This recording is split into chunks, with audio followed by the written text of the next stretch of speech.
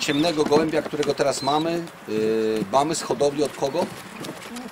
Otóż jest to gołąb z hodowli e, takiego człowieka, jak, który się nazywa Will Browers, Holender.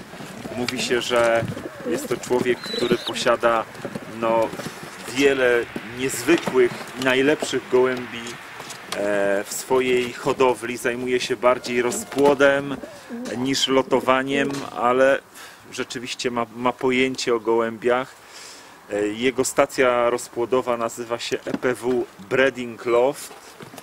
I tu mamy pierwszego gołębia, naprawdę świetnie zbudowany i chcę powiedzieć, że pochodzenie tego gołębia jest również niezwykłe, bo e, ojcem tego gołębia jest Son Benji, słynnego gołębia od Gaby Van den Abele. I tu trzeba podkreślić, że Van den Abele tego Benji parował z gołębiem od Wolfganga Rippera, także od niego sobie nabył Van den Abele gołębie, żeby mieć, e, żeby mieć właśnie w, w rozpłodzie takie gołębie. Natomiast bardzo ciekawą jest matka tego gołębia, to jest od Johnny Panisa o nazwie Mia.